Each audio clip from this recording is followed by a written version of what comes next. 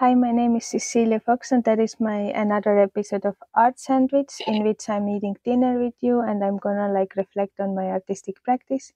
Uh, I still can't cook, so today I'm going to eat like uh, the pig candies for dinner. Um, so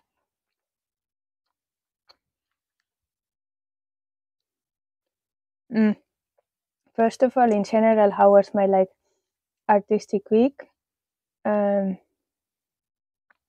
yeah, I think it had a lot of ups and downs, and it was also there was some nice moments, and I think I made some progress with some stuff, but I also felt really like all over the place.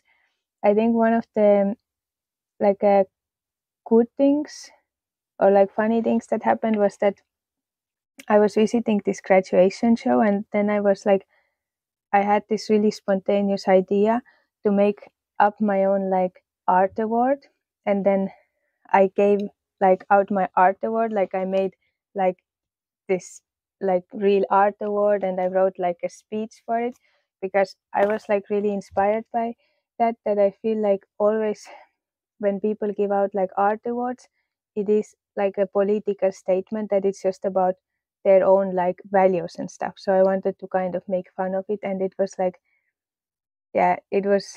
I think it was a bit funny, and I was really happy with this uh, thing. Um, I was, um, yeah, also like I had some like nice conversations there, and um, actually like this week's highlight is also like related to graduation show so that's why i think i'm going to share it uh, right away um, so when i was visiting graduation show like i really realized that like graduation show is not even like a good place for art because it's just like so intense so overwhelming and like then and the highlight of this um, week is like the the writer of the master's catalog who I also had like a little talk with and who explained me like her like process of making this catalog. Like her name is Elisabetta Cucora. Cuc- oh my god, I hope I don't like butcher her name.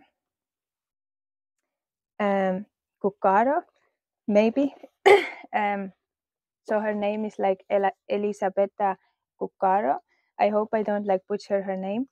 And um, I think like after like going home and like really reading this catalog through like it really gave me like much deeper understanding about all the works that i saw because in this like exhibition it's just so like overwhelming and i think she also just made like such a beautiful um, work with it because in the beginning she uses like a metaphor of weaving and the textiles for like in an intro and then she developed this system of categorizing like all the works in like eight categories and she calls them like a knots of interest so it's also really nice metaphor. Then she also explained how she uh, visited all the studios and then she wrote like a really like a beautiful like artist statements and the artist text artist statements for each of the artists which is really special. And then she also was uh, writing like a poetic response for each of the artwork. And i think like also these like poems like these poetic responses they really like they are like so precise and they like um like they really like cut like with a knife. And i think it was really like yeah i feel like that these like poems could be like even published as a book itself because it really gave through the feeling of this artwork but i feel like they could also like uh, exist on their own.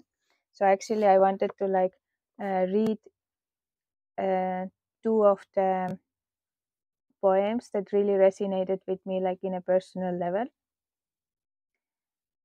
So here's the first one.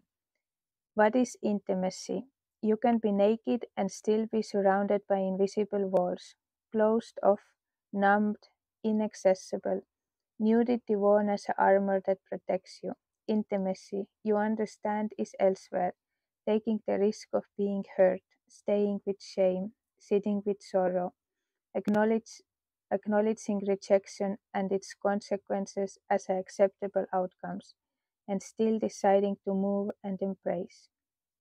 In your voice and in your touch, where care comes from seeing the wounds, intimacy flutters among scented flowers.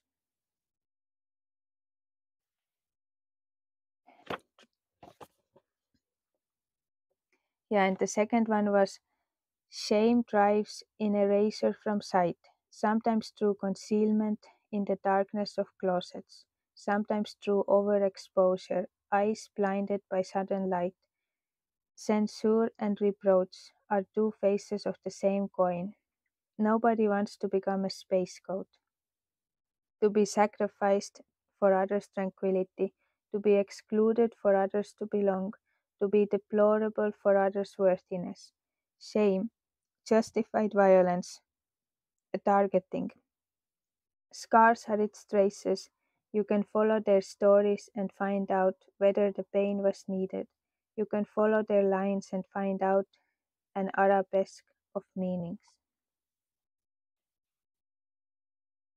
Yeah, I think it is really such a beautiful like book and it was such a beautiful writing and it was really special for me to also like meet her in person and like and hear more about the process of her writing it and i really think it's like a very very special um, thing.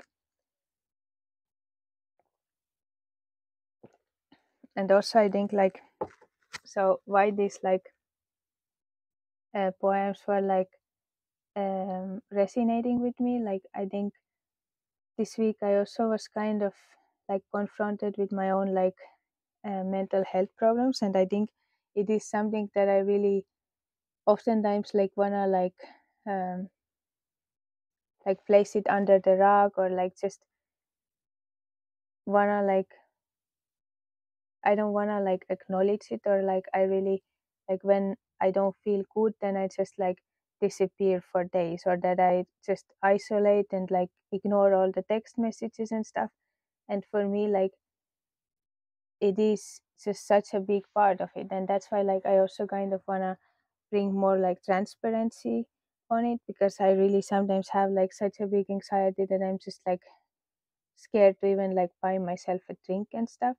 And also um so also like on friday i was actually filming like a new episode of like artist enough.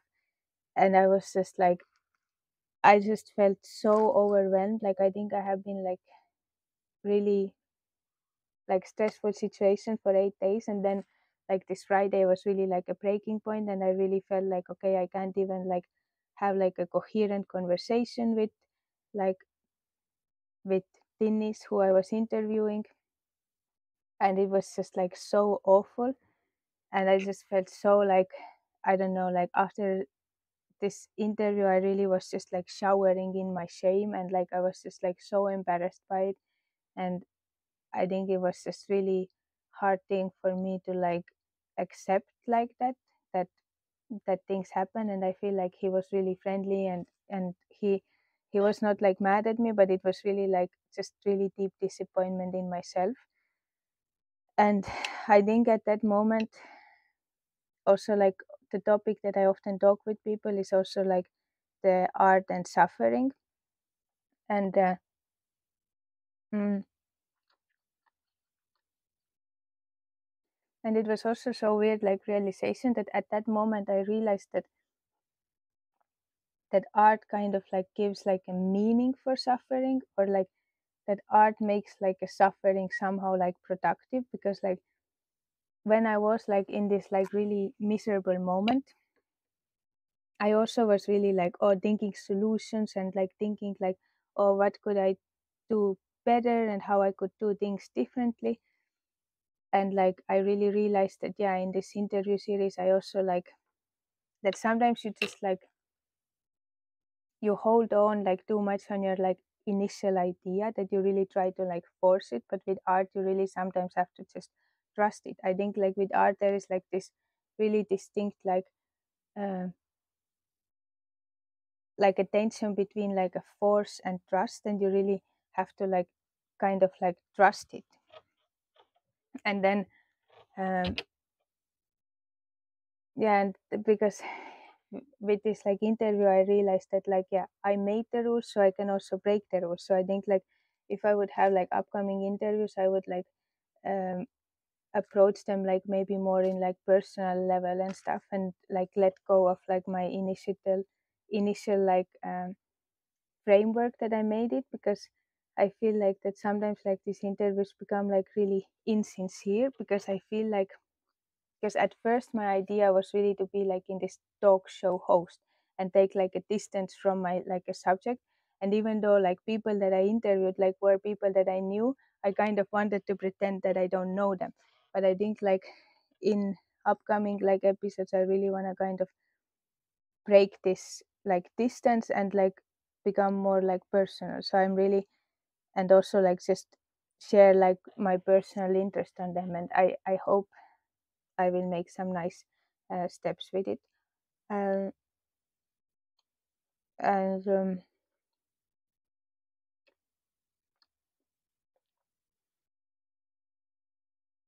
so mantra for this week is I trust my art and I will find pleasure in rejection. I trust my art and I will find a pleasure in rejection. I trust my art and I will find pleasure in rejection. So just repeat after me, and this is how you become an artist.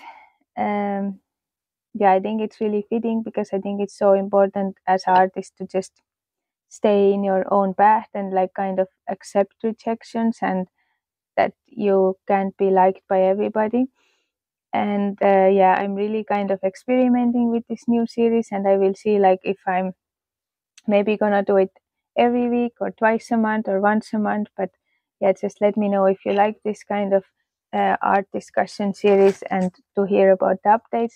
And i hope you enjoyed it and i hope to see you next time. And thank you for watching